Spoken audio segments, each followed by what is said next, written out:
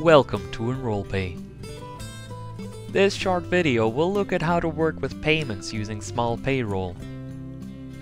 We're going to edit the Open Pay run and select an employee from the list on the left hand side.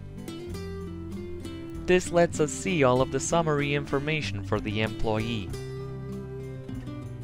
Click Pay Admin. You'll probably notice that there are currently no payments in this employee's record. Click the plus sign to create a payment.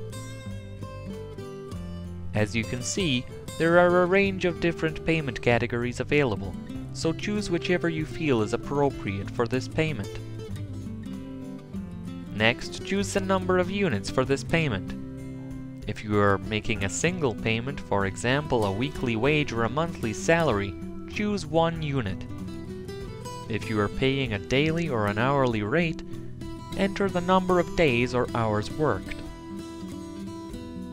Next, enter the relevant amount for your payment. This will be multiplied by the number of units you have entered. When you have finished, click Save. Now you can see that a payment has been created in this employee's record, and the system has automatically calculated the tax, national insurance, and net pay amounts for you.